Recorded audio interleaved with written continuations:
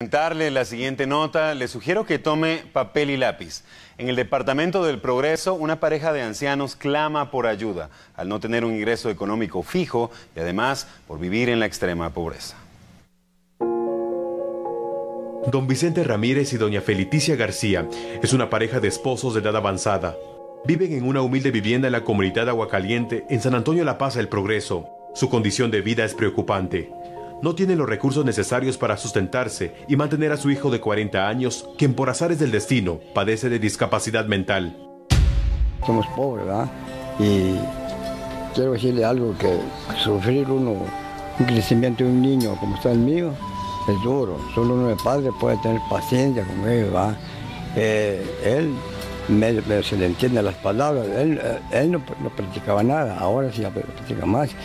Y cuando no, yo no puedo salir, ni ella. Entonces se queda uno y se va al otro porque no lo puedo dejar solo, ¿ah?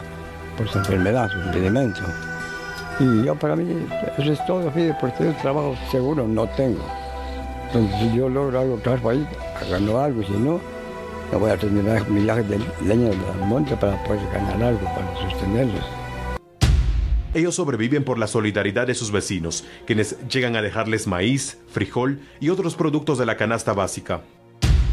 Ah, pues yo los conozco porque yo nací aquí en esta colonia y desde muy chiquitilla yo fui creciendo y ya los conocí a ellos.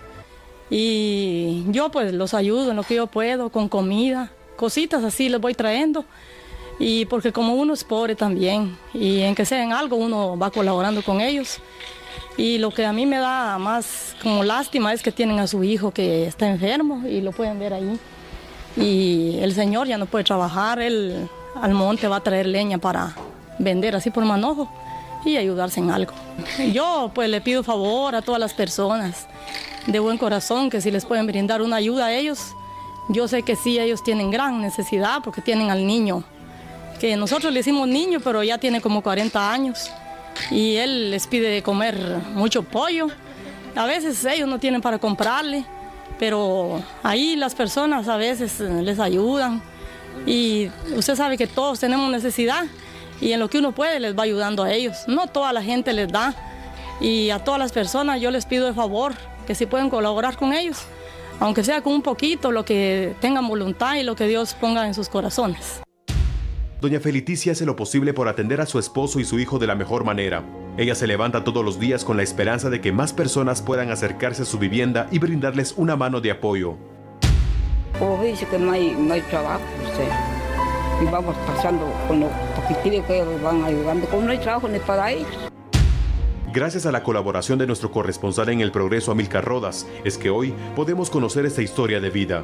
Si usted desea colaborarle a esta pareja de ancianos, puede hacerlo comunicándose con Rosa Vélez al número telefónico 4722-2042 y seguramente la recompensa para usted será aún mayor.